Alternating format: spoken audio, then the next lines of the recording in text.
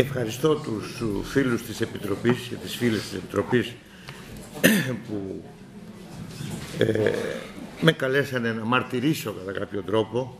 Είναι η δεύτερη φορά που ε, τυχαίνει να παρέμβω με την τότε ιδιότητά μου, σε εισαγωγικά θα θέλω να πω.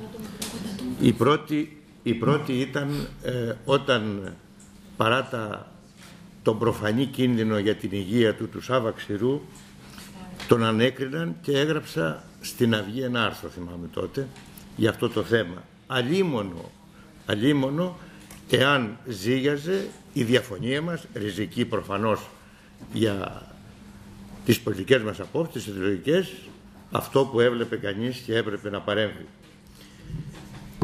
Ε, δυστυχώς δεν πιστεύαμε τότε όταν από τις ασφάλειες πηγαίναμε στις φυλακές και σμίγαμε μεταξύ μας οι φίλοι και οι σύντροφοι ε, ότι όταν θα πέσει η Χούντα θα αποκατασταθεί η δημοκρατία, θα συνεχίζονται τα βασανιστήρια.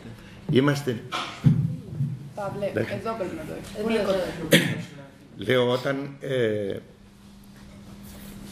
από τα κρατητήρια πηγαίναμε στη φυλακή και συζητάγαμε ε, λέγαμε ότι με την πτώση της ε, δικτατορίας δεν θα συνεχίζουν πια τα βασανιστήρια.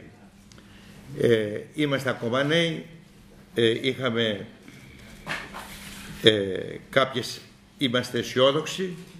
Βεβαίως τα πράγματα σιγά σιγά καταλάβαμε ότι δεν είναι ακριβώς έτσι.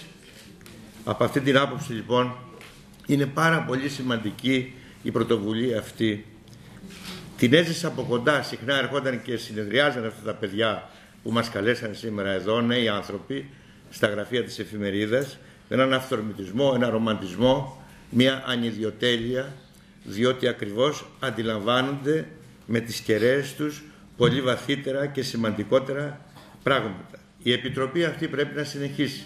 Τα βασανιστήρια δεν σταμάτησαν ποτέ. Και θα έλεγα να κινείται με ευρύ πνεύμα και τότε αλλά και τώρα μας είπε εδώ ο φίλος μας ε, η, η, μας είπε ε, ο πατέρας ενός κρατούμενου δεν είναι μόνο αυτοί που έχουν κάποια φωνή. Σε εμάς τότε ερχόταν και ο Ερυθρός Σταυρός μετά και έλεγε τι έγινε ο Κλαβιανός τι έγινε ο Κοροβέσης. Για αυτούς τους απλούς ανθρώπους που για κάποιο λόγο ε, συνελάβανε τότε αστυνομία που δεν είχαν φωνή δεν ενδιαφερόταν ποτέ κανείς αυτό ισχύει και σήμερα.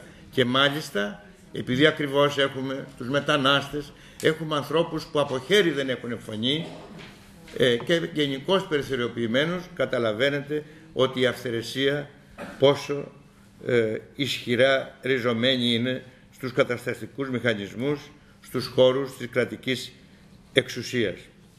Άκουγα τις διηγήσεις και τότε είχαν συνεργεία.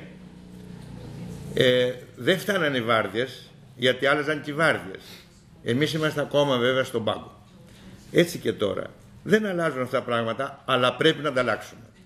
Ακριβώς επειδή δεν αλλάζουν ε, στην ε, νοοτροπία της εξουσίας, εμείς πρέπει να επιμείνουμε για να αλλάξουν. Αυτό είναι ε, το σημαντικό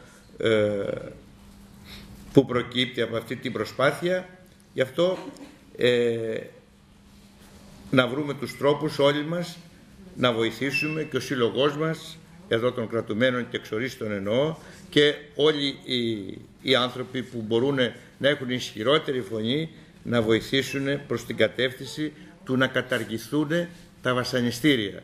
Δεν υπάρχουν εδώ ειδικοί που θα μιλήσουν, δεν είναι δυνατό όταν ένας πολίτης για οποιοδήποτε λόγο βρίσκεται ε, σε κάποια μορφή ελέγχου να χάνει τα δικαιώματά του, την αξία του, να ξεχνιόνται οι ανάγκες του.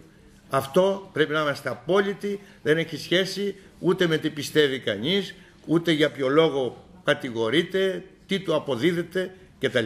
Όλα τα άλλα είναι άλλα ζητήματα που θα τα λύσουν άλλοι. Ευχαριστώ πολύ και ελπίζω να πάμε καλά τα πράγματα στα επόμενα στάδια η δουλειά της Επιτροπής.